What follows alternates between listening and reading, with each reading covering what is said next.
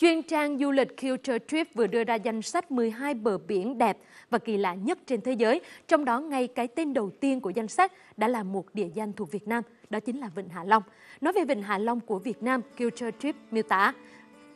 miêu tả rằng đơn giản là cảnh quan ở đây quá ngoạn mục, hàng ngàn hòn đá hòn đảo đá vôi che giấu hệ thống hang động ấn tượng và nổi lên mạnh mẽ từ làng nước trong xanh như ngọc bích của Vịnh Bắc Bộ, rải rác với những làng chài nổi. Năm 1994, Vịnh Hạ Long được UNESCO công nhận là di sản thế giới và được bình chọn là một trong bảy kỳ quan thiên nhiên thế giới mới vào năm 2012.